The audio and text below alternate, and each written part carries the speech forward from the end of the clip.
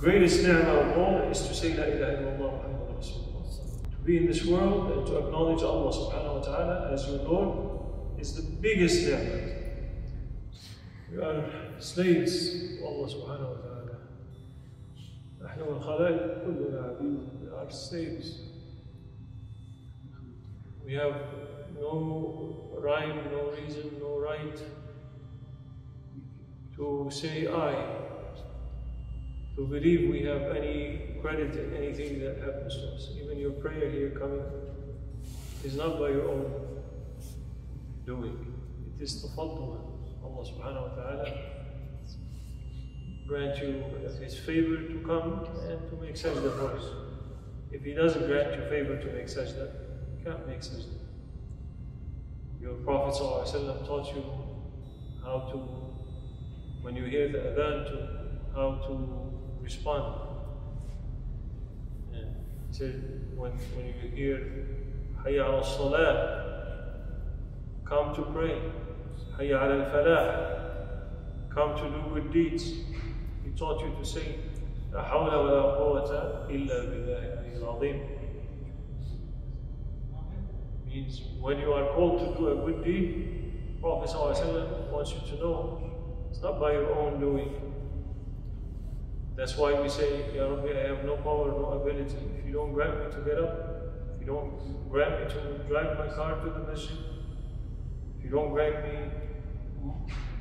aql to understand the value of salah, if you don't get, grant me health to go perform salah, how can I perform salah? What if you, how many millions out there, they don't know they're not Muslims? It's not even in their list of priorities to pray for Allah subhanahu wa ta'ala. So we have to show our gratitude to Allah subhanahu wa ta'ala because أنعم علينا بنعمة الإسلام that He favored us with the favor of Islam and to show our gratitude by extending that invitation of Islam to those around us because اللهم صل لن واستعذ بالله لن تنالوا البر حتى تنفقوا مما تحبون that you are not going to reach righteousness, piety, goodness unless you spend from what Allah subhanahu wa ta'ala grants you. And He grants you the greatest ni'mah of all is to say La ilaha illallah Muhammad Rasulullah. To be in this world and to acknowledge Allah subhanahu wa ta'ala as your Lord is the biggest ni'mah. So your duty and our duty in this country with non-Muslims, majority, is to actually understand our faith, apply our faith, and extend it to share it with, with the greater community. Show them you can do it in many ways. You can do it through your saying, but you can do it through your state as well. Your hal, so that people know this is a Muslim, a man of great manners, a man of great uh, behavior, and they're asking how to become, how to know more about Islam. People recognize perfection, even they recognize it in great afflictions. They see now in the Muslim world Muslims how they deal with affliction how they deal with trials and difficulties. They look at that and they say, how come these people, where, where is this coming from? That in the, in the, in the face of what is uh, unthinkable trials or odds, difficulties, that someone can say, Alhamdulillah. Ajay.